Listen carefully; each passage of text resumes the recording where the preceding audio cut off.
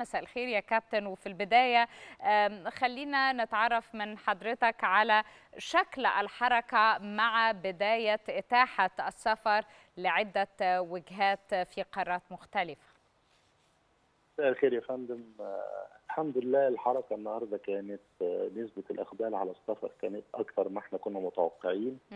يعني الحمد لله كنا متوقعين حوالي 50% نسب إشغال للطائرات. لكن النهارده وصلت النسبة لحوالي 75% في معظم الرحلات اللي طلعت 14 رحلة النهارده.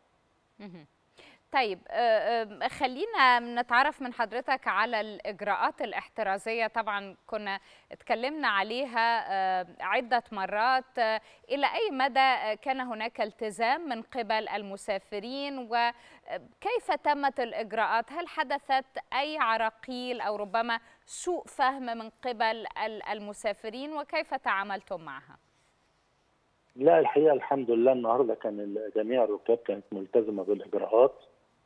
وكذلك جميع العاملين بالمطار وأفراد طاقم الضيافة كانوا دايما بيعملوا الإرشادات للركاب عشان يلتزموا بالإجراءات الاحترازية وفي شاشات موجودة في جميع أنحاء المطار كانت بتعرض الإجراءات ولذلك الحمد لله كان ما فيش أي مشاكل النهارده تعرضنا لها وكان جميع الحركة كانت سلسة الحمد لله جدا.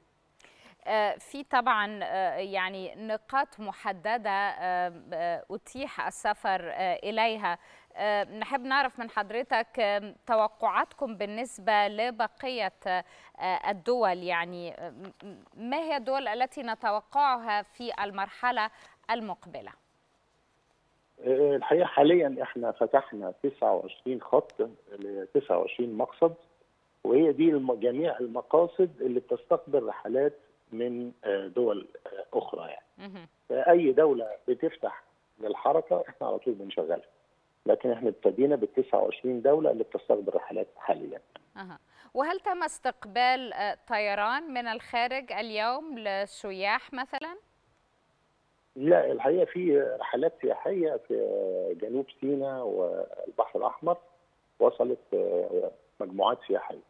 لكن في القاهرة كانت يعني في عودات الرحلات اللي طلعت النهارده واللي طالعه الأيام المقبلة بيبقى عليها أفراد يعني individuals بيجوا على الرحلات. وحضرتك بتتوقع أن تستمر هذه الكثافة على الرحلات يعني مثل اليوم 75% بالذات إنه شهر أو أو موسم الصيف بدأ بالفعل والكثير متشوق للسفر ربما خارج البلاد وأيضا قضاء الإجازات أو حتى الالتقاء بالعائلات المتواجدة في الخارج. الحقيقة إحنا عاملين عودة التشغيل عاملينه على مراحل. أول مرحلة لمدة أسبوعين لغاية منتصف الشهر. ونسبه الامتلاء على الطائرات تقريبا هي نفس النسبة تقريبا تصل إلى 75% إحنا شايفين الحركة مستمرة بنفس الكثافة وبعد كده هنبتدي نزود الرحلات من يوم 15 إن شاء الله كمرحلة ثانية بنزود عدد ثاني من الرحلات أكثر ومتوقعين يعني إن شاء الله ربنا يعني إن شاء الله يسهل وتزيد إن شاء الله. لكن هي مستمرة بنفس الكثافه لغاية منتصف الشهر حاليا ده اللي إحنا لسه شايفينه مؤكد يعني.